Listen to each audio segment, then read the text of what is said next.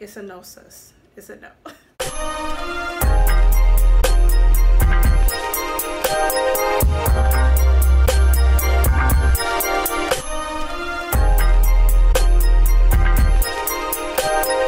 What's good, CC crew. It's your girl, Kelly Girl, Kelly Girl, Kelly Girl, and I'm back with another Wednesday weigh-in on a late Thursday night. I'm sorry. All right, before you get started, if this is your first time watching, welcome. My name is CC. I lost like 98 pounds, almost 100 pounds back in 2016 before getting pregnant and getting it all back again. And here we are back on this journey to lose this weight for the last time. So stick with me because your girl is going to lose this weight. But to get started, I need you to do me a couple favors. I need you to like, comment, and subscribe. Bang that post notification bell so that you can get updates whenever I come online.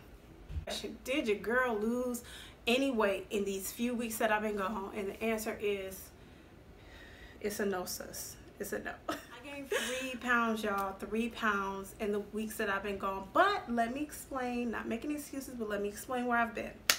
I have been traveling. Me and my family went back home to Michigan, back to Detroit, back to the D to visit some family, say hi, and you know, spend some time, some good bonding time before school started.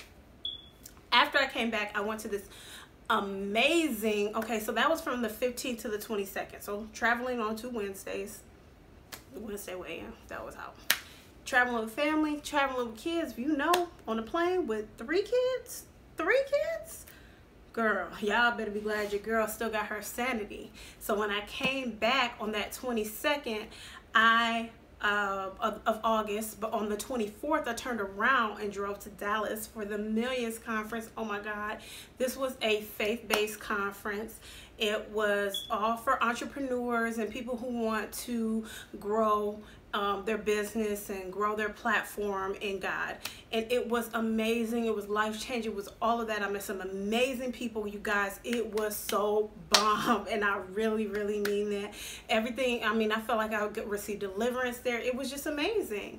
And so then I came back on that Sunday. The following Monday, your girl had to go to school and kids had to go to school. It's first day of school for me and my kids. So I've been kind of just busy with that whole transition and I have not been treating my body right. But thank God for friends who keep you motivated. Thank God for friends who keep hold you accountable. Paris 85, this video is for you. Home girl, you know I love you. Y'all go check out Parison 85 I'm going to put a link in her description box and also a link to her channel here if I can because last time it didn't give me a chance. But if not, it's going to be down in that description box. Check her out because she has had amazing weight transformation after having a baby. She's had an amazing hair journey transformation. I mean, hair is all down her back. I mean, she's the bomb, y'all. She is the bomb. And she made, actually, I want to say she made an amazing blog about losing weight while on the go. So I don't want to make that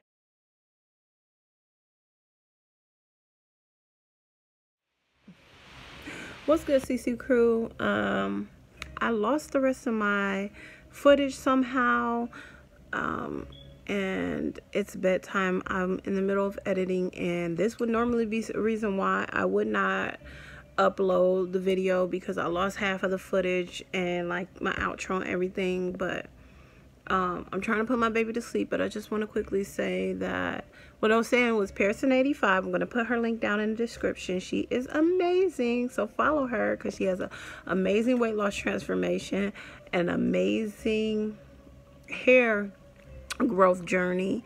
Um, she was, she's, like I said, her hair is all down her back. Go ahead and follow her. She the real deal um, she encouraged me and I, I love you all.